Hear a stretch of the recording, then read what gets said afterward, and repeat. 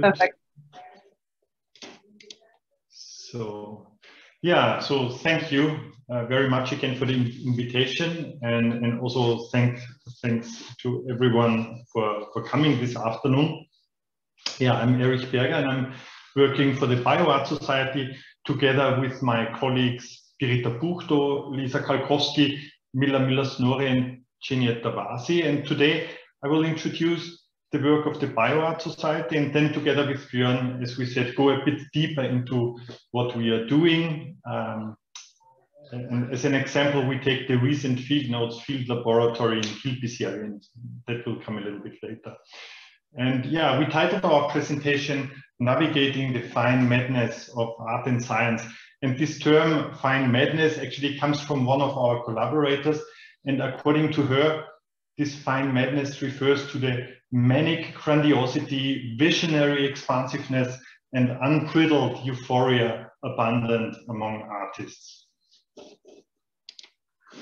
But uh, before I go a little bit further into BioArt Society, let's kind of uh, have a brief kind of look at what bioart actually could be. Um, bioart emerged as an artistic field during the last couple of decades with the onset of life sciences and its novel possibilities to manipulate life on a level of the DNA. And uh, the first artists tried to get access to biological laboratories and to work with these new materials. And then the artist studios themselves turned into sort of biological laboratories with microscopes and incubators and artists working with living organisms. And the BioArt Society took this uh, original concept and developed it further by also taking into account um, the environment.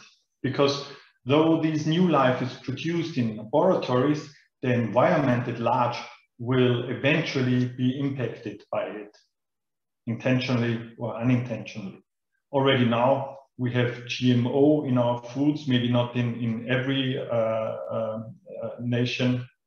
In some regions of the world, um, just think about the attempts to bring back lost species, also like de-extinction with the woolly mammoth.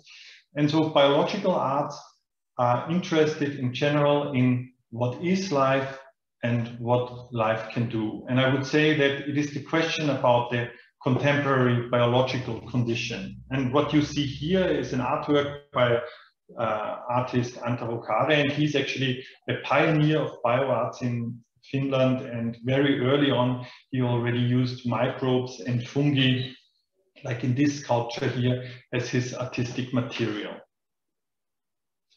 So the BioArt Society itself was established in 2008 at the Kilpisjärvi Biological Station, and we try to support and facilitate transdisciplinary activities around art and natural sciences with a focus on ecology, biology, and the life sciences. And transdisciplinarity, because as an organization, one of our main challenges is to enable collaboration between practitioners with a multitude of approaches, from strict academia to freewheeling artistic ways of working. And we have about 140 members from different disciplines.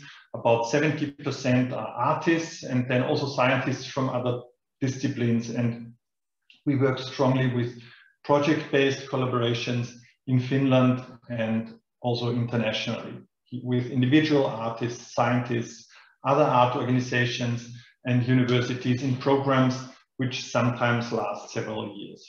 And in Helsinki, we run since 2018 a multifunctional project space called Solu, where we organize exhibitions, workshops, and other activities uh, on roughly 140 square meters. And in the image, you can see the first exhibition which we had in, in Solu space with Pia Lindman and on the poster, you can see actually an outline of our space.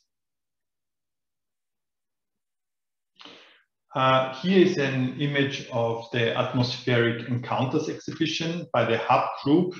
HUB stands for High Altitude Bioprospecting Group. And that was the last exhibition we had here in, in Solu. And uh, it is a transdisciplinary group, which was part of Field Notes, where we'll come back to and talk more about what that is. That was in 2019, this event, but this was basically now last year, 2021. And this exhibition is an outcome of field work which was done uh, in our um, collaboration partner in Kilpisjärvi and was a co-production also with Birmingham Open Media, a similar organization than ours.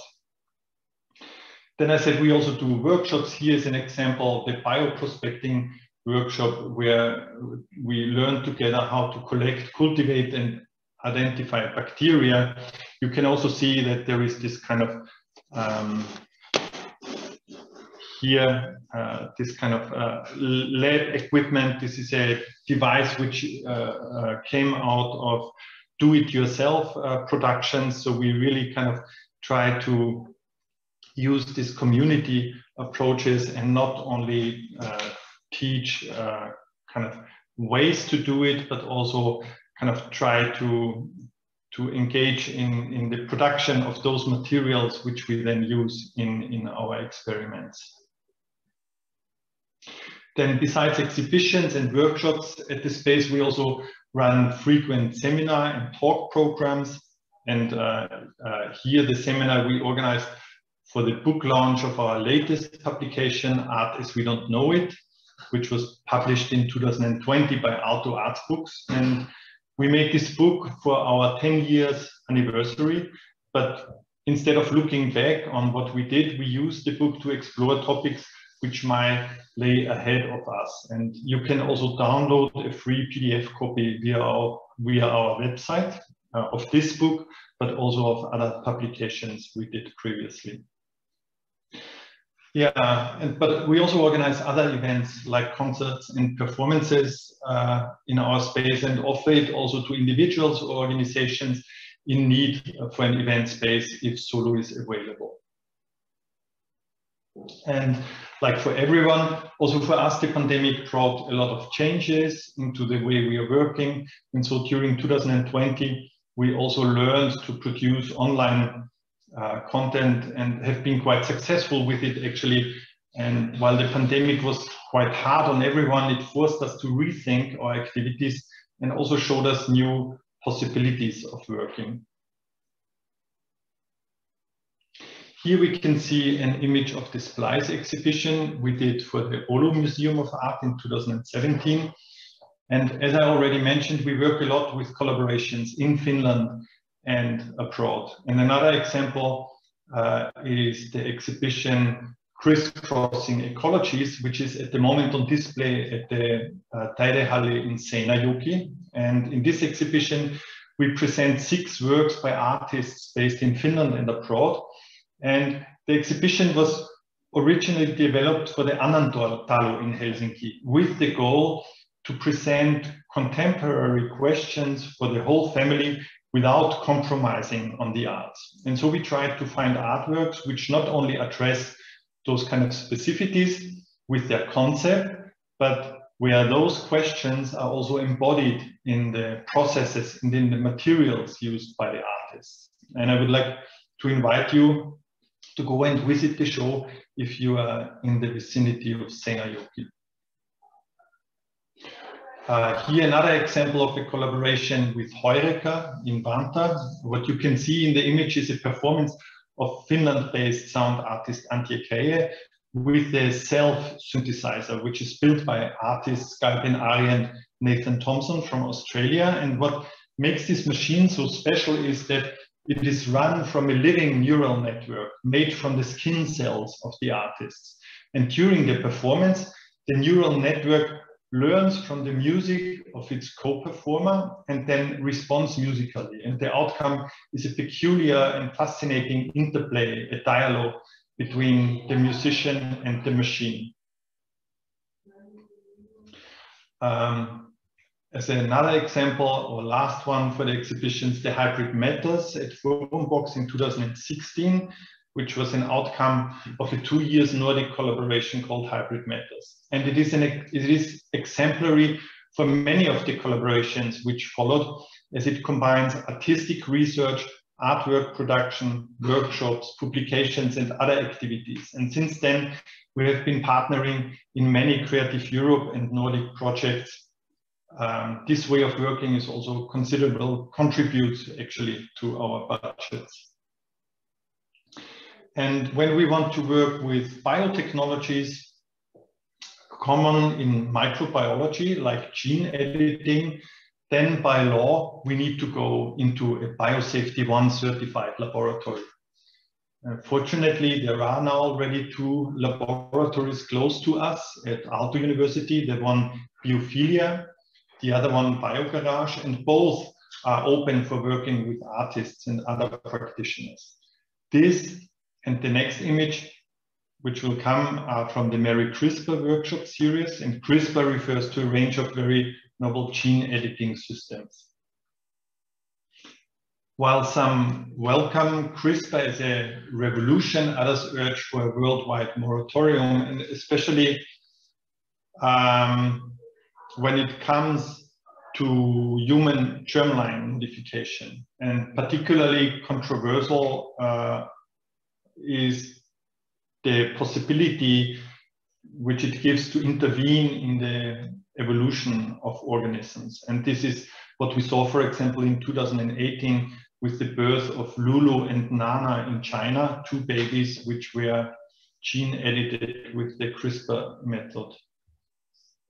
Yeah, artists alone will not save the world, I think, but we can play an important role in participating in this kind of critical thinking process, which is necessary to understand the wider implications of such technologies. And we see our role with the BioArt Society in uh, giving artists the possibility to familiarize themselves with these technologies so they are able to create informed cultural responses.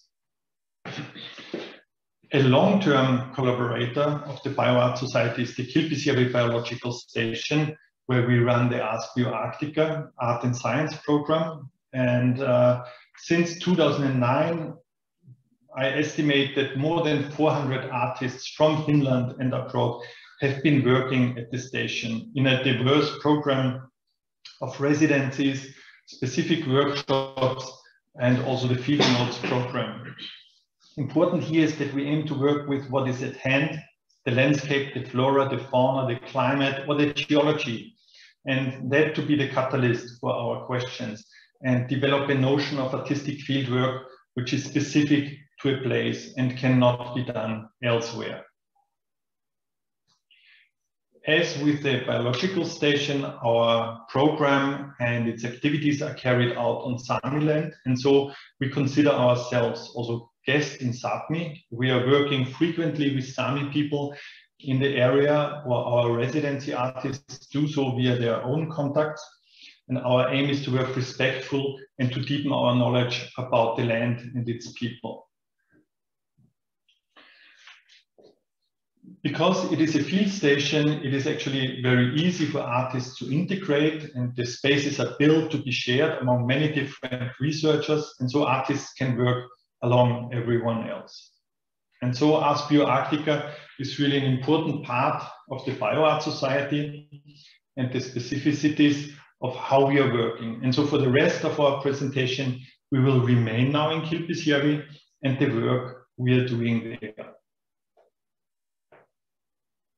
Björn. Yeah, okay. I think uh, it's my turn now. So we can switch the screen. Okay.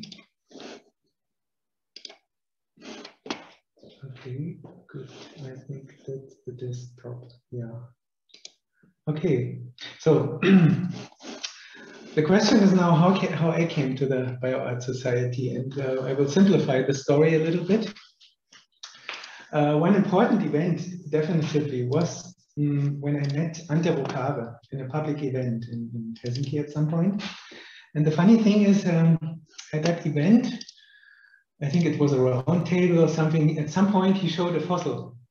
And uh, it was a fossil like this one. Oop, Can you see it? Yes. Yeah. yeah. Okay, good. Yeah, this uh, like this fossil, and I was totally perplexed. It struck by by fascination. I thought, what is this? How can it doesn't look very very uh, probably very big or very special, but for me it was really something special because I use it in my I use this type of fossil, which is called Treptichnus, a trace fossil, in my lectures at the university at master's level. And there I talk about the history of life. And I have sometimes, usually something like this, show a slide about, especially about this type of trace fossil. You can see in this slide on the upper left, you can see some, some drawings of it. On the upper right, some examples from somewhere in the world. Actually, these fossils can be found in, can be found in several places in the world. And in the lower part, there is an explanation how this fossil is produced by priapulid worms and they dig in the earth and they produce these traces. And now the special thing is that these fossils really, I never in my own life, I never in my life saw a real fossil of those things. That's why I was so perplexed. It's quite famous because it occurs in a time interval which is called Precambrian Cambrian boundary, actually at the very earliest part of the Cambrian time. And to that, I have to explain a little bit what it means Cambrian. Geologists and paleontologists uh, subdivide the history of life in epochs and periods and areas. So we don't talk usually about the millions of years. We have these names for different intervals and a few important names are here the Phanerozoic Aeon, and that's the time on Earth since uh, we have animals on Earth. Uh, and then we have all these periods here. And now when you look at the lower, maybe I can point here, the Cambrian and the Ediacaran boundary, it's just at the beginning of the animals. And uh, some people may know this time interval, it's called the Cambrian explosion. And uh, when we talk about the Cambrian explosion, uh, this was a short time interval in the history of life when in really in a few million years, maybe 10 million years, all the animals, the large groups of animals appears really rapidly. It was a huge step in evolution. Before the Cambrian, we had only these strange organisms which looked really like these fronds or feather-like things. And afterward, we had really animals which we are uh, animals that we are familiar more or less uh, like today. Yeah.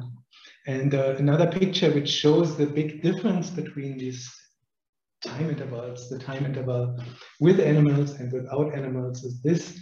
People usually talk about this, the time before the arrival of animals as the, yeah, you could say the paradise of the Ediacaran. And then we had this Cambrian explosion and the world looked really different. And one aspect which was really important uh, by that time and still is extremely important is uh, what makes a what makes an animal. In an animal, you can see in the upper part and the lower part, you see in the lower part, you see simple animals, in the upper part, you see more complex animals. And the more complex animals, they have a digestive tract with a mouth and an anus, and they move actively. So they search for food and they actively change their environment really in a different way. And one different way how they change their, their world or our world today, or we change our world is by searching for food, we dig in the mud and in the earth. And um, the paleontologists and geologists, they call this the Cambrian agronomic revolution or the Cambrian substrate revolution. And what happened with the arrival of animal, they, they digged into the uh, sea bottom and they oxygenized it and they made it by this a new habitat. And now I have to come back to Treptichnus, and Treptichnus basically lived just at the very beginning of the animals. It's not in this picture depicted, maybe this is a trace of, of Treptichnus. So that's why it is so fascinating for me. And now I, I totally wondered why, where did, uh, did uh, Antero found this fossil? Uh, no geologist I know, at least from Finland, ever came across this. So it was totally unknown that you could find these kind of things in Finland. And now I can give to to to Erich and he can tell the story how they discovered. My turn again. Yeah.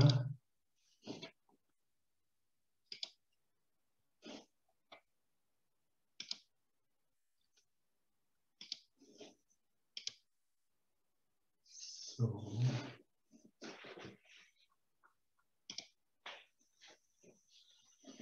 Sorry, this didn't start now. I have to stop sharing again. Yeah, we have to, to, to learn a little bit how, how the switch goes. No. Oh, that's just uh, We will do it a couple of times. what happens when you when you do this. Yeah. So, but now it works. What? it. Yeah.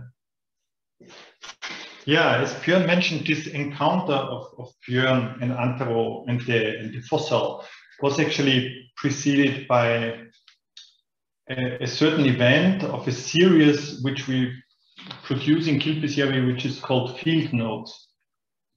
And we organized it in an approximate biennial rhythm at the, at the station.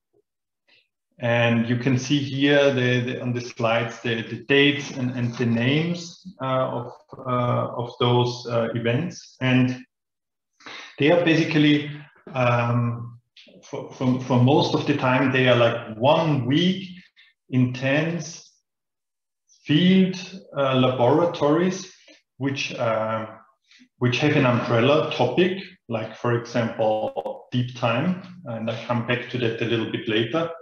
And then we are, we are looking or we inviting uh, five hosts, five kind of what we think of as specialists, which we ask to, to ask a specific question under this umbrella topic.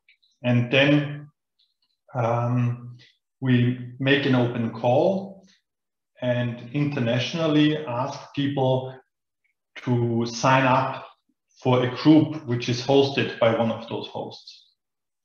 And the idea would be that uh, these people who sign up and who come um, are able to work together with the host to kind of in, into this question, maybe not necessarily to answer it, but to, to maybe make it more precise or find things out around it. So it is basically then about 40 people which are in Kilpisjärvi together working very intensely.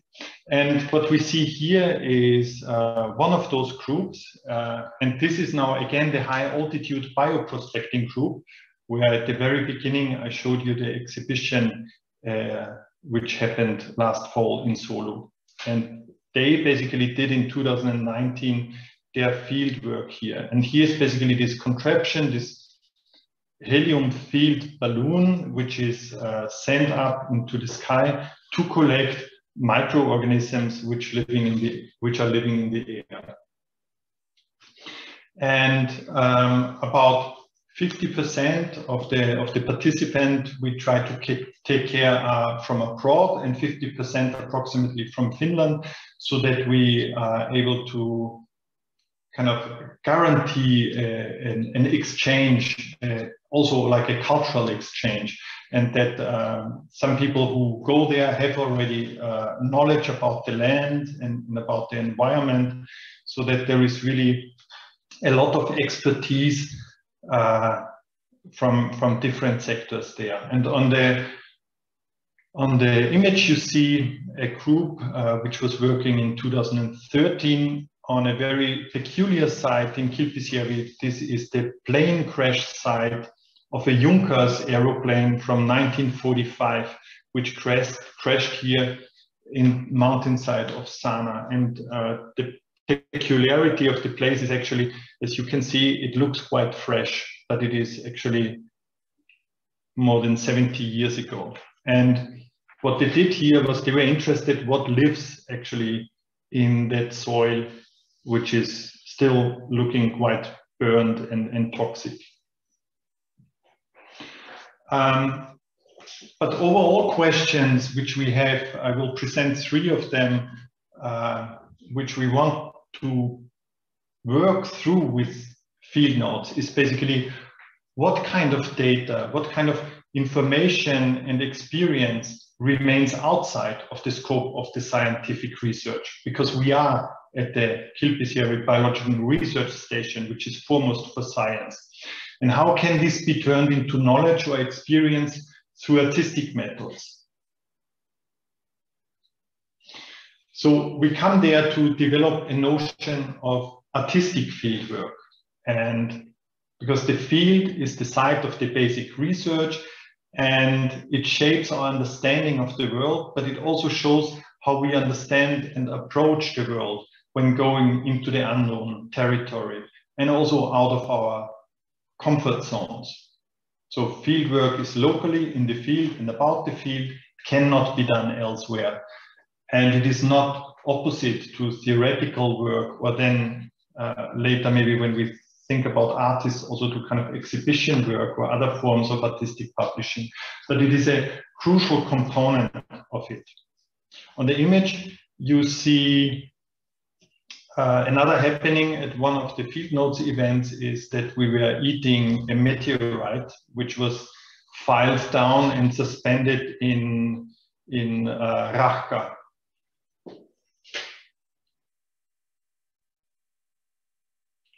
Here is an environmental sample collected uh, during the work.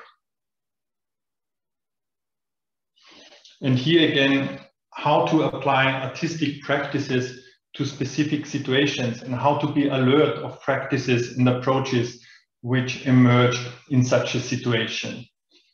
And for that, we have a, a very special instrument uh, in the in field notes, which is actually an own group and it's called the second order group. And the, the research or the field of research, the field work for the second order group is not in the environment, but are the other groups. So it is basically a, a, group of artists observing artists doing art, if you want to, to uh, name it like that. And it basically is for us an instrument to see and learn what we are doing. because it is really then critical to this last question also like how can the artistic the scientific the cultural the social the political be a catalyst for shared questions in the field but let me now come back to the trace fossil again because as I said already, one important aspect to field notes is to connect it to the locality and to let the environment be a catalyst for our work and our questions.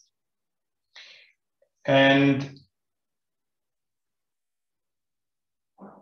when we, we, we have been already, uh, like we, we, we are working since 2009 actually at the station and it, and um, over the years you kind of learn what is at the station and what are in the surroundings and kind of three things which I present here on this slide uh, really stuck to my mind. One is on the background, you see the site of an ammunition depot explosion from 1912 uh, when the when the when the war uh, the Finnish war was uh, was in the Kilpisjärvi area, and the site is more than 100 years old. But again, it looks like uh, it would have been just maybe a decade ago.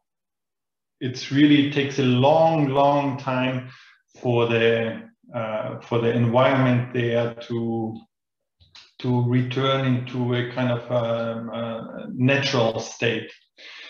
Uh, another object we found in the kind of hidden collection of the, of the station was this arrowhead from the Kilpisjärvi area. It is basically around 5,000 years old and is made of slate.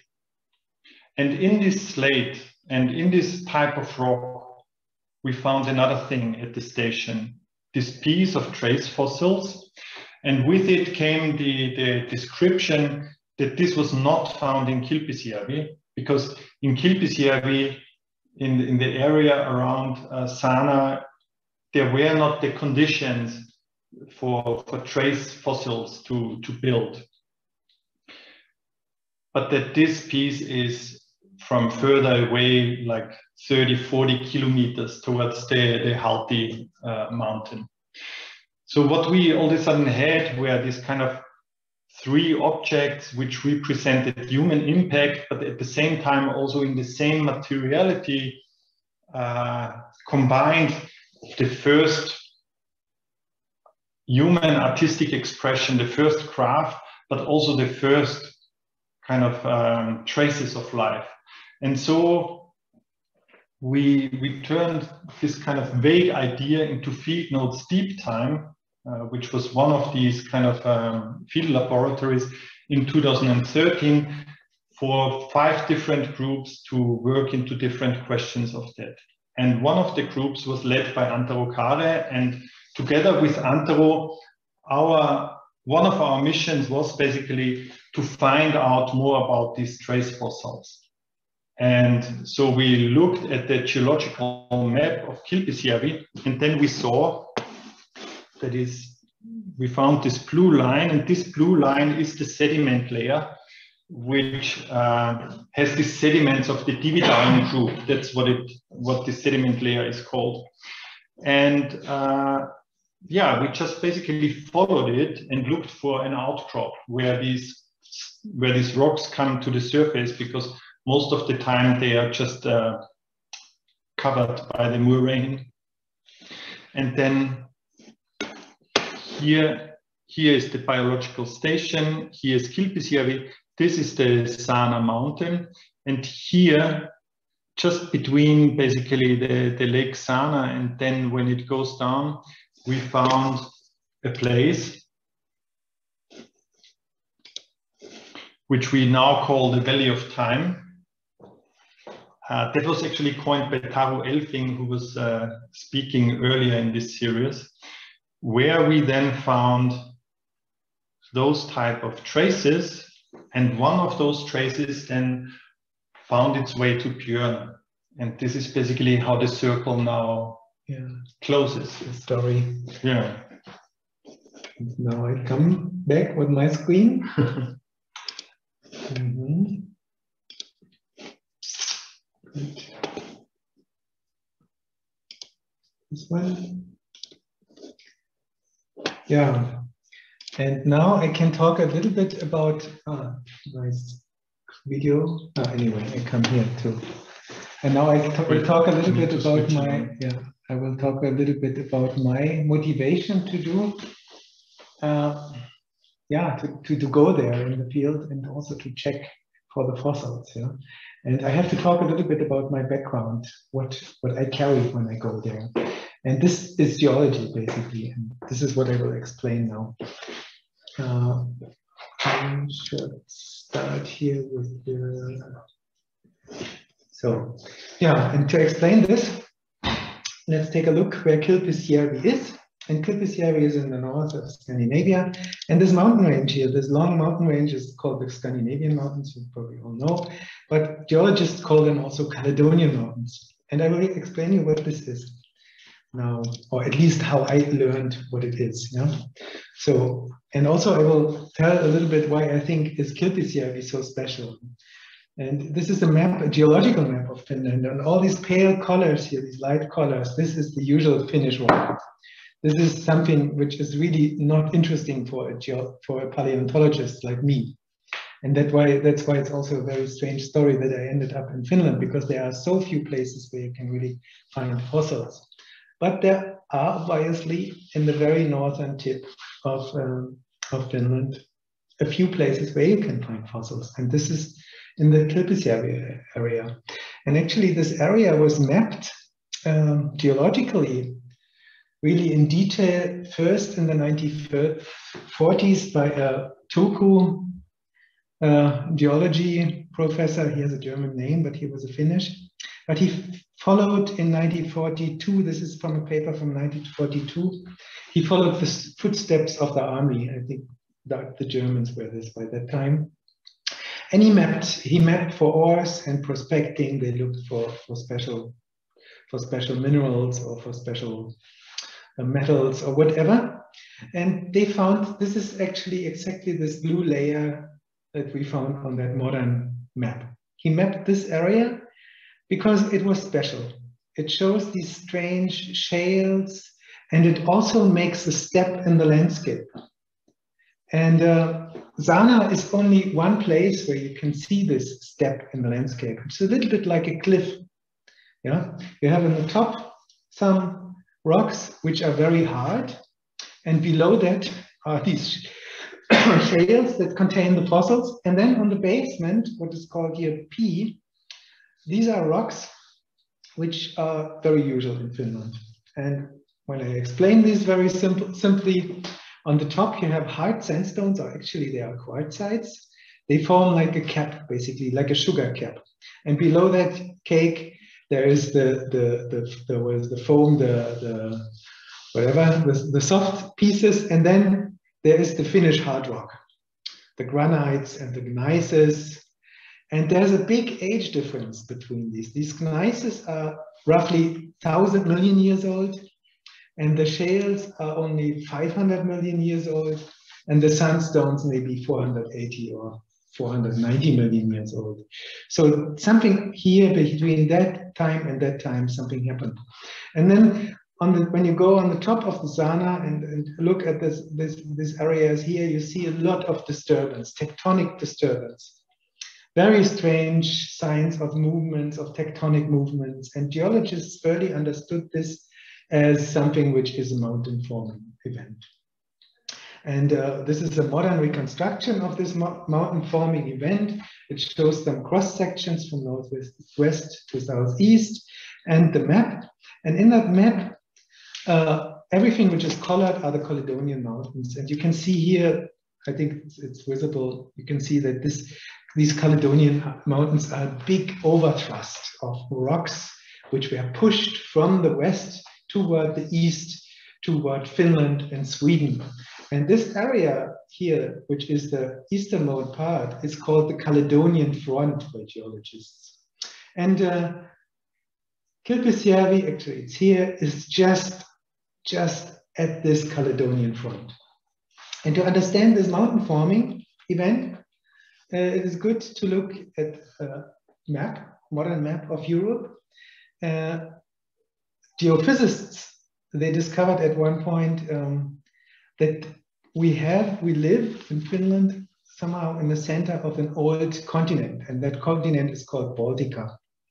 And here you see the borders of Baltica, modern borders of Baltica. It runs here from north to, to the White Sea, goes up north of Norway, and then it goes through Denmark, Polish border, down Black Sea, and then goes up to the Urals. So this was this huge, this this huge old continent. And when we now go back to the time when these mountains form, these Caledonian mountains, a reconstruction looks like that. The dark part here are the Caledonian mountains, and they reach actually from where we have Kilpisjärvi here, down through uh, Scotland, um, to, through the Normandy and Newfoundland, up down to New York. And this was one big continent, the old red continent it's called. And Kilpisjärvi by that time was really at the equator. But that was the event when the mountains formed. We have to go back to the to the time when the when the trace fossils lived, or when the traces uh, forming organisms lived. And uh, so we have to step back a little bit. So this then is a world map of that time of this mountain forming. Kilpisjärvi again, close to the equator, this big continent here. And um, now we have to go back in time to 500 million years, to the Cambrian explosion time. And uh, here are a few pictures, world maps, 480 million years, this on the left side, that's the oldest, 440 million years, that's the youngest in that picture. And you can see here when you go from the back in time, uh, there was once an ocean in between Sweden, Norway, and Greenland and the US and North America. And that ocean closed in that time, which we call Ordovician, within, let's say, 40 million years. And that was this mountain forming event. But we have to go back to the Cambrian time. And in the Cambrian, um, actually, Kilpisjärvi was here, really close to the South Pole, maybe in a place where is now Antarctica. Um, but there was a different climate by that time. So this is a reconstruction. People know that. And I, I tell you this because this is what my background is. So my knowledge, how when I think about these rocks and and place Kilpisjärvi, I have this in mind. And this is a paleogeographic reconstruction how the land and the sea was distributed during the time when the trace fossil formed. So there is some kind of, oops, there is some kind of knowledge, but as you can see, this map is really like, I would say, very, very, um, yeah, schematic. And the, the yellow coastline looks really like very similar everywhere. So there, there is not much knowledge actually. It, it, there's a lot of fantasy in this involved. And, and, and that's why I'm also very much interested geologically and that scientific point to know more about the sediments in Kilpisjärvi and to go back and to understand a little bit more than uh, what really happened in this place 500 million years ago. So, and now I have here a list of all my uh, scientific questions or the questions with which I would come to Kilpisjärvi. And there are, these questions are, for instance, are there outcrops with more fossils and successions of rocks? Can we find better things? What is the diversity of the trace fossil assemblage? Which animals produce those traces if we find more? What do animals do? And then is there a temporal succession? Did there, was there some evolution going on? how did the original marine environment look like, and what is the exact age of this fossil. So actually, I, I thought, let's find out more.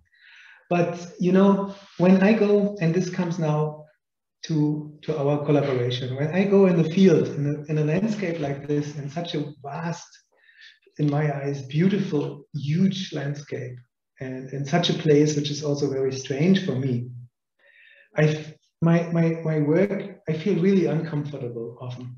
And it feels really often very uh, like I miss the point. I often ask what I'm doing here.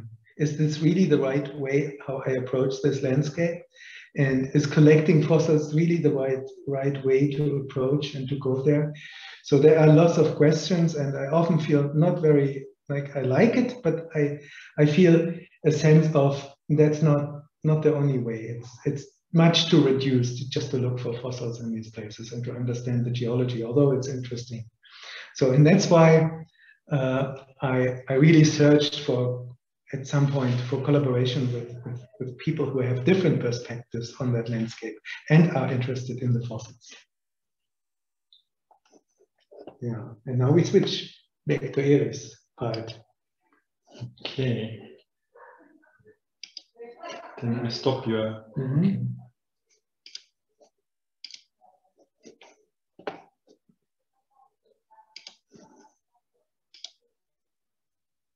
Yeah, now as we we're hearing about Björn's kind of scientific motivations, but also about his kind of uh, challenges as scientists when doing this work it would be, of course, also interesting. Why would it be something for artists to work with him or with geology as such? So during this field notes deep time, we got specifically aware of what one could say is a dichotomy between human time perception and the time in those biological, environmental, and geological processes which we as humans are part of. And I think that this dichotomy arises, for example, in the present, especially as we as individuals are challenged to engage in endeavors and, and measures to secure a human future, which we will not be part of, and for humans, which we will never know we also became aware that the discussion about such issues quickly become quite anthropocentric because the scales we use to think about the world are made to suit us humans. And therefore, processes running on scales beyond our capabilities can easily go unnoticed or even ignored. And with the Anthropocene discourse, we also realized that human impact entered planetary time. That we are now intentionally and unintentionally after the alter the Earth system itself, and that this change will alter the planet for a very long time on a scale which will be registered in the geological records. So if we ask ourselves, what do we leave behind on such a global and geological scale, then it is interesting, of course, to look into what happened before.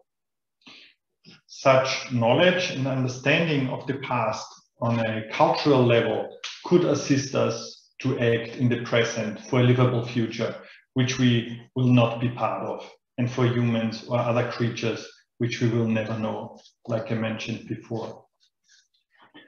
For example, in Finland, uh, we are the first nuclear nation which decided to build a permanent nuclear waste storage facility.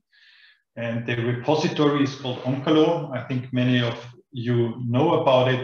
It means hidden place, and it is located in the Eurajoki municipality of the Finnish west coast. It's very close also to the reactor buildings of the Olkiluoto nuclear power plant. And around the year 2120, at least I will not be alive then anymore, the final encapsulation and burial of Onkalo will take place. And then the access tunnels will be backfilled and sealed and multiple barriers are set to keep the waste away from groundwater and the surface, at least for the next 100,000 years. So Finland also made the decision that the information about Onkalo needs to be maintained but did not define how to do this.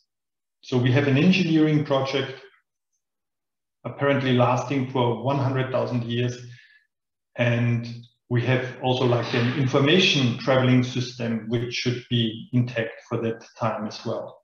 While it is possible probably to engineer such a facility in the deep bedrock, it is totally unclear what will happen during this 100,000 years on the surface. Multiple ice ages coming and going will erase all memories from the surface and looking back into human history and the current state of affairs, affairs it is also difficult to imagine that a continuous civilization will be aware of what kind of load was sent into the deep future.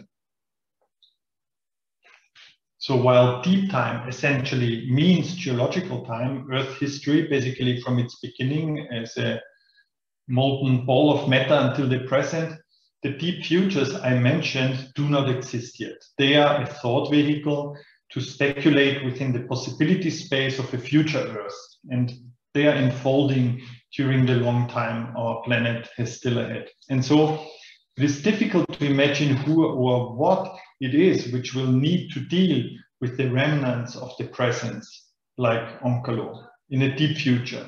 Among many thoughts, uh, it triggers certainly questions about intergenerational justice and our responsibility not only for the present, but also for what comes after us. And I think that this example of Onkalo shows us the necessity to make ourselves as a society familiar with questions of times and scales. In general, I think one can locate an increase of artists working with ecological issues, the climate crisis, and issues of social and racial injustice, which are enablers of a system of extraction and exploitation. And coming with this is a growing interest in matters of knowledge and the examination of the real. We can see, for example, that the interaction of art with science is becoming a popular subject, but also I think that, for example, the crisis of our civil society and its institutions feed into this. For example, the Sandberg Institute in the Netherlands uh, was running a two-year uh, master course, which just now got extended for another two years with the name F for Facts. And they write, at a time when facts are increasingly framed as fantasy and fiction is often presented as truth, F for Fact aims to develop narratives for the present by looking at past and future representations of reality through an artistic lens. And I think that what is important here is that it is not about the arts defending a postulated truth, but to explore the depth of reality. And by depth, I mean also to go beyond that which we can experience or comprehend with our own bodies and sensorial capabilities. Benjamin Bratton calls that, for example, the scope of the real.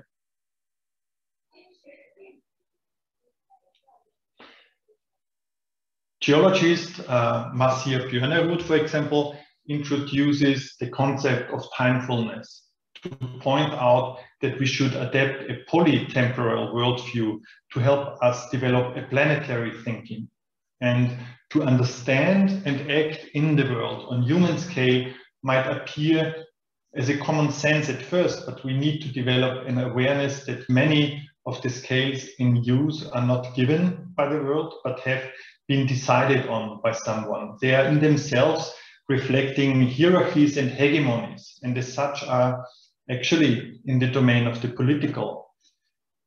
And the politics of scale is a term which was coined by Neil Smith. And he coined it to attend to the processes through which scales are constructed and contested. And Smith said that geographical scale is political precisely because it is the technology according to which events and people are quite literally contained in space. Alternatively, scale demarcates the space or spaces people take up or make for themselves. In scale, therefore, are distilled the oppressive and the emancipatory possibilities of space, its deadness, but also its life. And while Smith is examining geographical space, we can see with what Bratton or Björner would say that a more general evaluation of scale is of interest. And the previous examples of Onkalo or the climate crisis demonstrate very well also on how to possibly continue from Neil Smith when we expand his politics of scale from geographical space with time and we could introduce something like a geotemporal scale and say that it is political precisely because analog to the geographical scale, it demarcates the space over time which future humans or other entities are able to take up or make space for themselves.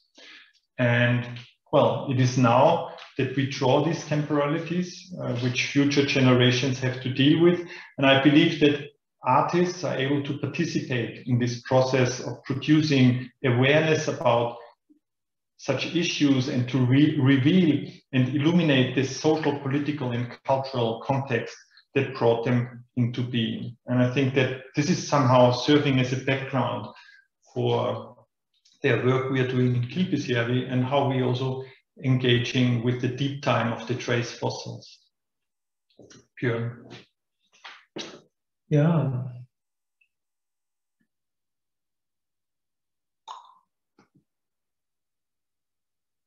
So first I turn the video on. I think we got it the last time.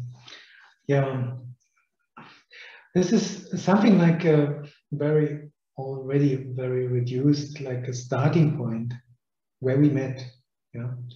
So these are basically the premises or the the basics when we when we met and when we thought these are really good good points to start a collaboration and to start a project and to think about what to do uh, with our ideas and with our yeah, questions and motivations and how to come together.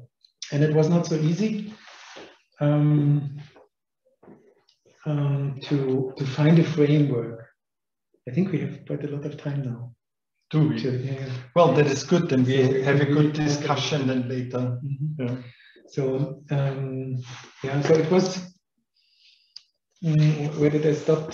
Um, at the at this starting point, but to, to frame it, yeah. So it's not so easy to find a way how to work together and how to get funding and find the time and what to do then, what could be products uh, or what could be an outcome with our all our different thinking also. yeah there should we should we end up then somewhere with some product with some ready idea or whatever so it was really everything was quite quite open at the beginning and uh, finally we mm, erich thought that um, this field notes format was quite a good starting point to, to continue um, and to work specifically on traces and to use mm. traces as a way to and approach the landscape or the land. Yeah, like field notes also because of that, because uh, as you were saying, like uh, what are the results, what are the outcomes? For us, field notes is something which is really uh, specifically designed to have during the time of the fieldwork no outcome. It's basically really going there, being prepared to some extent, um, having this kind of set of um, things one wants to look at, but then uh, even there is this idea of an artist that when they go to a residency, they need to produce an artwork, but this is basically exactly not what we what we want to do. And so field notes for, for me was a, free enough format mm. that we could actually find out those kind of uh, or work also to through the challenge of working together at mm -hmm. the mm-hmm. same time. Yeah. Mm -hmm.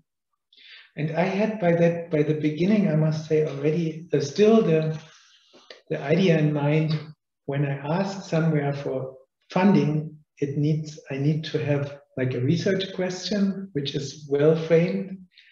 And I also need at some point, I need a hypothesis and I need at the end some outcome and some conclusion. So, and this is really something I must say already now that that was a big challenge for me at the beginning when we went into the field. But that uh, is already a step forward because we started then with fieldwork as a frame. And um, we, I can start now sharing the screen again. Okay. Yeah, one, one should probably also say that uh, that here one can see really the differences also maybe between art and science as a practice that mm-hmm. you are very limited in how you are able to pose your research question mm-hmm. because it it doesn't mean that we wouldn't have had a research question so to speak when we started but maybe in its kind of holistic uh, approach it would not have kind of succeeded the scientific standard because it was very open mm -hmm. and it also included um, a very different view of what the traces could lead to. Yeah? Mm -hmm. And we were not even sure if we would find traces. And that was okay. yeah, yeah. yeah. yeah. So, but then in August last year, we were able to, to announce it. Yeah. So this was then on the website of the Bioart Society and the blog and also connected to another project where we don't talk about this. No, we could briefly mention it now as we have a little bit of time. Yeah, so it was it was connected to a to a project which is called Archive, obviously, where the BioArt Society is carrying out a couple of um, case studies to generate material for good practices, and that also means actually that um, you will soon be able to, to download uh, some of the material which we produced and uh, you can um, then kind of get an understanding not only about what we did there, about the science and about the artistic component, but also like how to organize such an event and what to what to take care of, basically. And it helped us also to give some this this way how we framed that to give some structure to to our field notes, I would mm. say. Uh, but we but before we talk about this, um, during the summer we started to to to com compile a team or to to to to find people who would would make a good mix and an interesting interesting group. And uh, this is now the group we we brought together very wild mix of people, I must say. I start in the upper left. In the upper left, this is Judith van der Elst. She is uh, from the Netherlands and anthropologist, also works as an artist, and uh, she has, I think, also an archaeology background. Uh, Jaakko Pesonen, uh, she, he is a Finnish artist, architect, I thought curator, that's wrong. Yeah, yeah, maybe also, yeah. And then Leena, Leena Valkeapää, she lives in very close, 60 kilometers of uh, since many, many years. Um, her husband is a reindeer herder, so lots of her practice, daily practice, daily work is um, reindeer herding. She is our local contact, if you so will. Yeah, she's also the, the mentor of the Ars BioArctica residency. So we are working with her since many years. And she is uh, by training, by training and also by practice a visual artist and a writer. And then me, and then we had Lisa Kalkowski. Uh, she is she lives in Finland since many years and is a German also. And she was a fantastic producer. And she also works as a teacher, and I think she had somehow also kind of a art background. At least she fit very well the, the group. So, and this was really needed because there was a lot of logistics involved in this in this field tour. And then we had Sirja Moberg, she is a Finnish uh, visual artist. Uh, can I say anything more? Yeah, you have uh, about Sirja. Yeah, about Sirja. She's is she from Helsinki? I don't know. I anyway, yeah. She's so, from the vicinity of Helsinki. and then we had two geologist students. And this was a challenge for me because Sasha Macrae, he's he by, by by accident, by chance, he is back. His background is from the Netherlands, but he lives in Finland since many years. And Elisa Koski, Elisa Koski is biology student, and uh, Sasha Macrae is a student of geology. And they both participated really as as as in as formal students, so they got credit points from the university. And this was like an official course, and that was a little bit challenging for all of us because we had to deliver something. The students had to learn something. And for both of them, it was the first field work in sedimentology and, and doing stratigraphy and methods like that. And this was really an exceptional circumstance to work with artists and it really, which is in, a, in an environment which, or how I would say, in a, yeah, in a, in a, in an intellectual environment which is not university teaching and it was also not strict scientific research so and scientific methods. So it was really a challenge but it was, was I, I was quite happy with with this. And then finally uh, Erich was part of the group so we were what was it eight people at the end yeah mm-hmm. Yeah, I have to say for, for, for us, it's a typical group actually. You know, mm-hmm. like you have artists, you have scientists, you have other practitioners and also students. For us, mm-hmm. it's not the first time mm-hmm. that it's actually, we really kind of uh, uh, like this very much. Also the, the kind of uh, the intergenerational aspect here yeah. is, is very strong. So the, the age differs quite a lot. Uh, mm-hmm. Um, also, what was maybe different is like two other field notes is that we we were working under pandemic conditions. So that's why we actually didn't make an open call because um, it would have been uh, just basically not really useful, uh, but instead basically try to to find the, the expertise by just kind of talking and discussing with people. Hmm. And before we went into the field, we had to do a little bit of kind of homework. And one part of this homework was to get permits. And for me, this was also really to reflect on this and to think about these permits was really an interesting fact. Also, we had to go there. We had we were not really clear where we went, where we would go.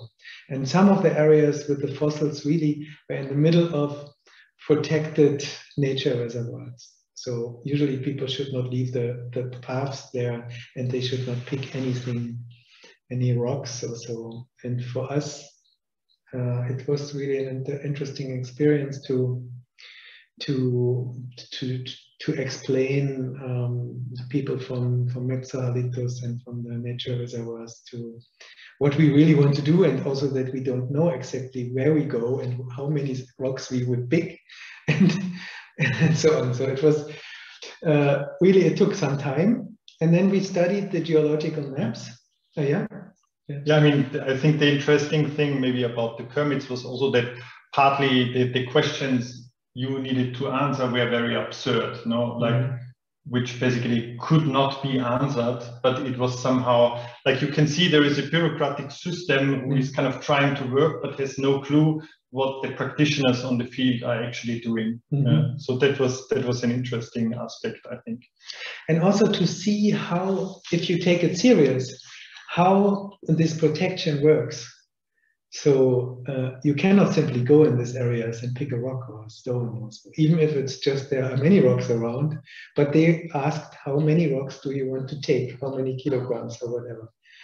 And um, so and then you think you, we started already thinking about what does it mean to protect such an area and what is our action what are the consequences of our actions when we go there and the people told us yeah you will step above some lichens and we saw already that everything grows in the arctic very slow and you can actually do some damage when you go in these protected mm. areas and pick in very sensible areas and turn a lot of rocks around and so on. And so. Yeah, and well, eventually we then basically just discarded the idea to go into protected areas. Mm -hmm. And as you just wanted to show the next slide, we then basically we are looking for other places which are in reach. Mm -hmm. And um, yeah, we followed basically the again the blue line. Yeah. Mm -hmm. And so we planned the route and this is just a photo of a topographical map. And here you can see again our, oops, is it visible? Yeah. You can see the field station, Mount Saana here in the left uh, corner. And then we walked basically, we decided we have to go in an area which is here. And that's a two days march. So that means two days going there and two days walking back and carrying all the stuff. And at some point we decided we need something to, we cannot carry the rocks and the sandals and all the food for our group for all this time when we stay there for a week. We could do that, but it would really like involve a lot of logistics to walk back and forth and so. So we decided to hire a helicopter for that, which was not an easy decision, but uh, it went well then. So we went into this, we went to the place, stayed first in one hut, and then checked at this at the places if we could find uh, fossils and these were potential places. So we didn't know if we really at all find anything in these areas. Um, but when we went then actually to to Kilpisjärvi, we organized our trip like that that we had the first week of arriving in Kilpisjärvi, make ourselves familiar with the area um, get to know each other. And we had something like a seminar or a lecture series of really wonderful people who, who gave lectures to, to us. Um, and this is, um, it's all actually, these were all the lectures given by, by several people. So we had a geologist from Tromsø University. She talked about this Ediacaran time and about the time in this area and the geology of the area. And then we had a. And can I say something yeah. to Annette actually? Yeah, yeah. Because Annette, we made contact already in 2013. We visit, Antero and me visited her, mm -hmm. and she showed us these fantastic trace fossils from Digermulen Peninsula, which is basically the same sediment layer, but just in Norway. And uh, she gave us back then already kind of good advice on what to look for and, and, and where to go. And then we after that, we basically were able to identify the the, the on, on Saana the outcrop. But uh, Annette then was also one of the first ones which got pictures from our finds and was actually also really excited. And since then, she actually kind of stayed with the project and and then came back for the lecture also. Yeah. I think it will also continue this collaboration. And the other person is Gabriela Mangano. She is uh, Argentine, from origin from Argentine, is professor in, Canada, paleontologist, and she's also very much interested in art and in cross, what is it, interdisciplinary approaches. And she gave us a talk about this, what we call the Cambrian explosion and uh, the, the role of trace fossils in the world. Also, with a political twist about the role of of what happens today at the ocean's floor with these huge trawling nets and destroying of the of the, the submarine fauna. And so it was a very fascinating talk. And then we had a talk by a GIS specialist. So GIS is a method to, to map electronically, to produce maps. Uh, an American with an archaeology background who lives now in Denmark, in Copenhagen. And he just made us a little bit familiar with these tools, what we could do, how we could use um, geographic system, electronic systems mm. when we go in the field. But it also gave a perspective how how how, how those people look at landscapes. Yeah. And then we had a, uh, a, presentation and a lecture of Elizabeth McTernan. She lives in Berlin and is originally from the US. And she is doing art, very, very fascinating, uh, develops strange tools to measure things and um, to to grasp, to quantify. Mm. For instance, uh, the coastline, yeah, and, and things like that. So she had a very unique approach to to, to grasp the, the scales, different scales, and to measure scales. And, and, Liz was also already artist in residence uh, in, in Kilpisjärvi a couple of years ago, where she actually started to test out some of these ideas. Uh, she presented them, and so she was really a good match also to print this. In. Um, and then we had Jussi uh, Eronen, he is from Helsinki University, and he is also actually by training a paleontologist, but now he works as a geographer and um, also in some kind of think tank. And so, so he's more politically in the geographical sense active, so also is teaching. He's actually now running a, a research project at the Kilpisjärvi Biological Station, oh. which uh, basically is looking in the time span, span of human activity 500 years past to 500 years future. And Leena Valkeapää will be working together with him on that as well. Wonderful. Uh -huh yeah, and he's he's professor here in Helsinki, and he gave us gave us a talk about his recent projects and about the changes in the Arctic landscape. So we had a huge input, different, very again very multidisciplinary, interdisciplinary, and um, packed with this, then we could actually um, start and, and walk and go into the field. Yeah, and also during this week, we prepared ourselves not only like through discussions and, and with these presentations and other activities, but also we kind of um, developed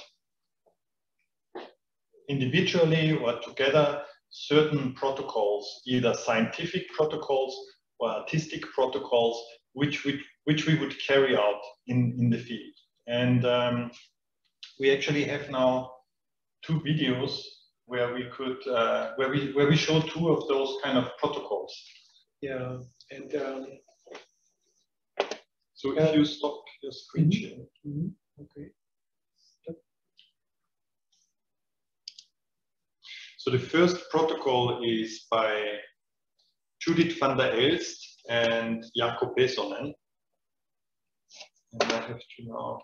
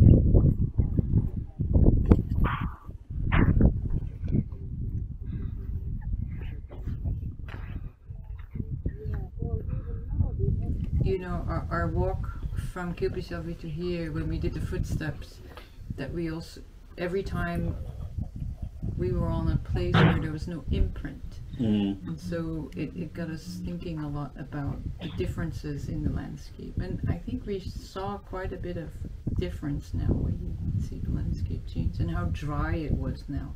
That was amazing. Yeah, I had a really good one. You. My first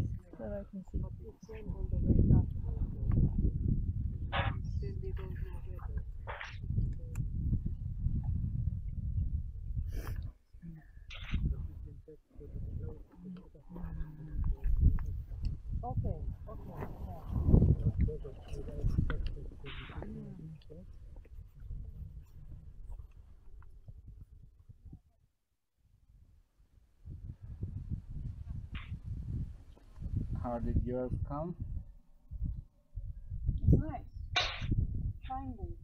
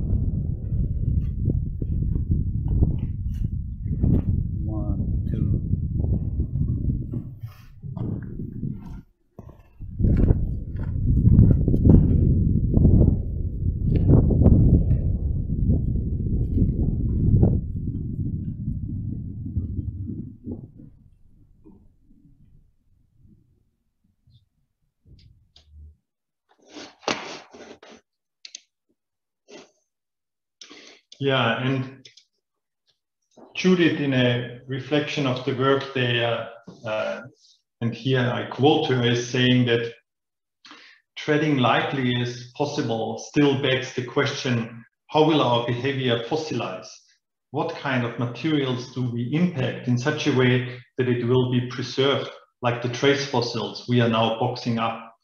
Will it lithify and be interpretable through the eye or turn into something else? And what kind of interpretants will be able to detect those signs?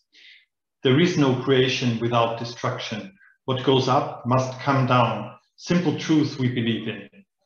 The law of conservation alludes to this. There is no empty space for us to fill with new things, be it digital signals, boxes to store fossil specimens. Whenever we create something, something else is transformed, be it energy, mass, or even information. This also makes the effort to preserve material in perpetuity in museums quite illusionary, taking it out of the cycle of matter when, sorry, something happened. Uh,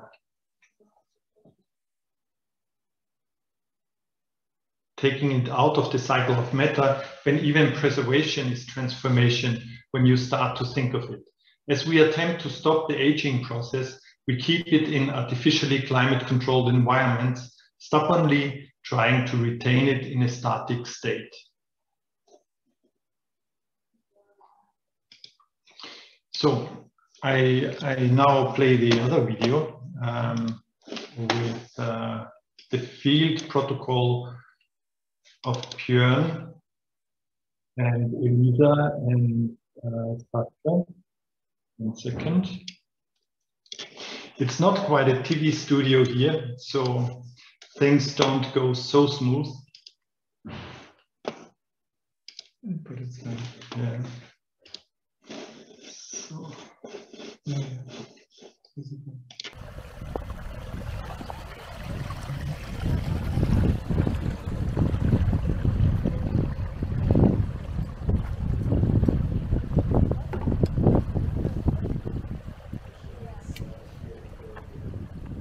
So as a magic geologist, I would try to draw the line here. And uh, then you have to, of course, you have to check what is in the field. When we only find fragments of rocks, then it's sometimes too difficult to understand what is the surface actually of a bedding surface. So when we look for fossils, we have to look at this beautiful. So this is a bedding. this is a bedding surface. so this is like the horizontal in one Mhm. thought. And this was created by the pressure that Yep. came later on, and then it shifted, I think, in that case like that, maybe in this direction. So, and sometimes in some places we will probably see cleavage, and because it's never the same, so the cleavage can be. It will, the angle will be no, nowhere the same. There, there might be places where the cleavage is parallel to the to the bedding, mm-hmm. and then it destroyed everything. But in that case, we have a little bit of luck that we sometimes get some surfaces. When we break this with a hammer, we can see is there anything in between, and that's where we look for the fossils. Look how bedding surface looks. Of this uppermost of the siltstone massive, and it's just flat. You don't see any. It, it's not ringed. It's just a flat thing. Maybe a few traces on it. Huh?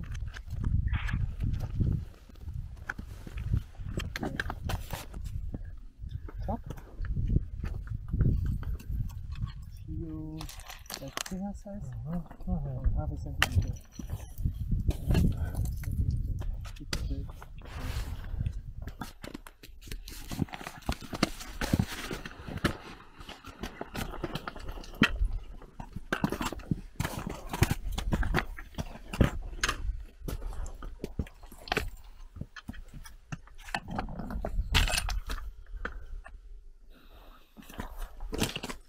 And here we could spend like hours for connecting, but not specific place What's that? A worm. A worm. I think a worm. It's not cleavage. It's several worm traces. Oh, I like this now. And then this one.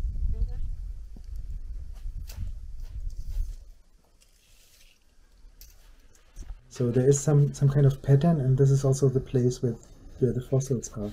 And the very top of the cycles are always sand, silty sandstones, and they don't contain. At least the the fossils are not very. Uh, the trace fossils are not very beautifully preserved. Something like uh, what is it? How many meters is it? I think it's still the top Still. of that one. Yeah, and it's a massive, uh, rapid change, huh? Yeah, So it's about that much. Yeah? Yeah. A little bit more. Fine. Give it 130. Let's give it 130.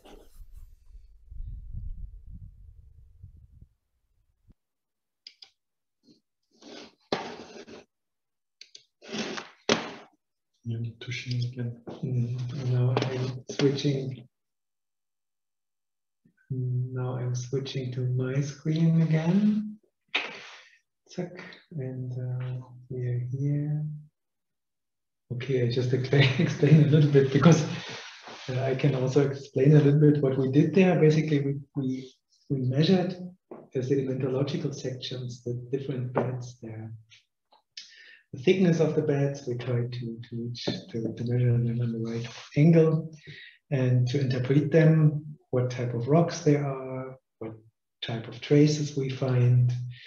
We found actually lots of traces, but in which uh, parts of this section.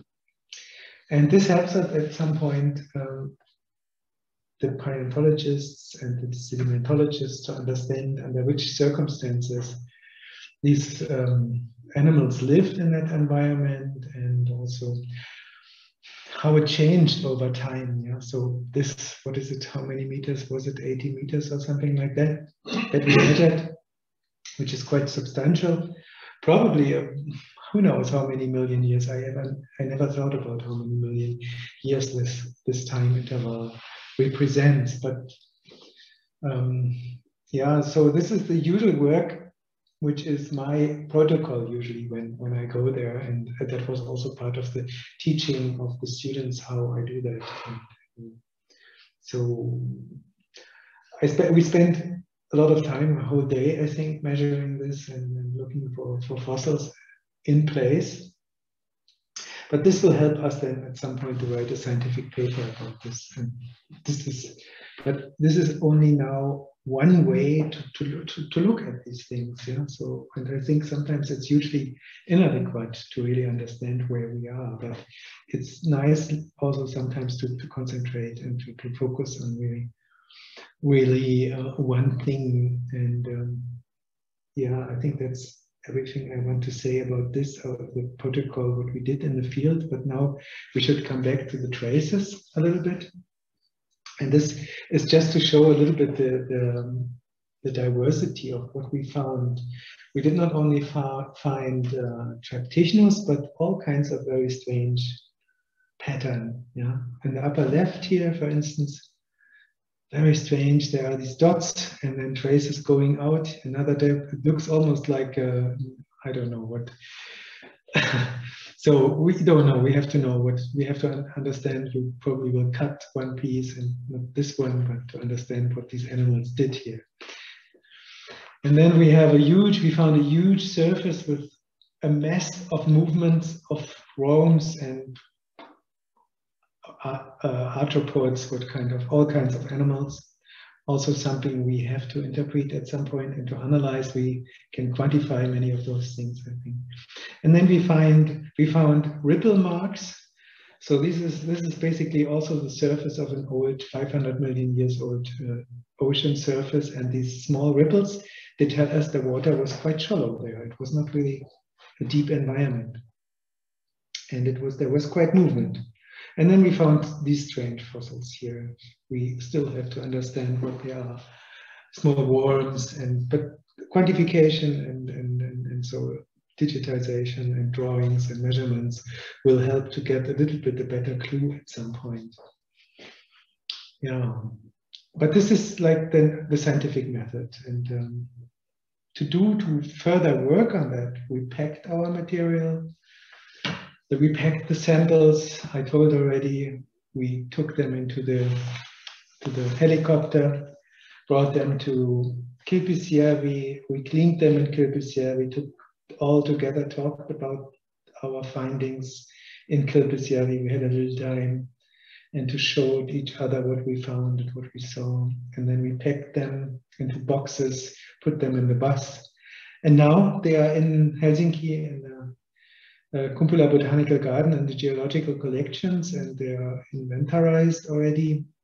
And they can now used by the public, by everyone, not only by us, by everyone who asks and who can use this, the museum like a library. And so they are public, in a way now, public um, property. Yeah. Yeah, and what else has happened? Uh, yeah, there was a considerable amount of post-production, mm. like um, not only did we go through the material already on site together, but um, we also produced now some videos. Um, we uh, started also now monthly meetings with the group uh, uh, again uh, now uh, unfortunately for the moment on, on video, but uh, we hope that we come together again and working towards what could possibly be an exhibition and also a publication. But um, we will see how that turns out into the during the coming months.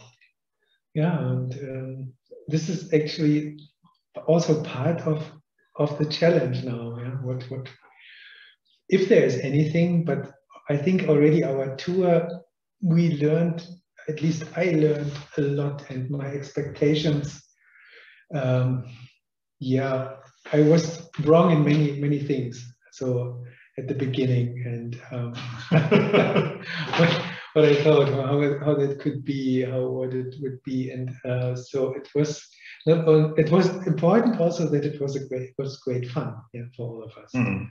I think, uh, I, I don't know, I, I heard you the, this first, for the first time saying you were wrong, but I think that what was really actually nice in with, with the group that being wrong was not a category. Absolutely. No, there, yeah, there yeah. was there was a, a, lot of generosity yeah. in different opinions, and I think we had really good discussions. Uh, it's like about some very difficult things also, like for example, you know the like the ownership of the samples and things like that. But maybe we can uh, now turn the presentation off and, and go back to, to Hanna Rika and the audience and discuss with them a little bit. Mhm. Thank you. Thank you.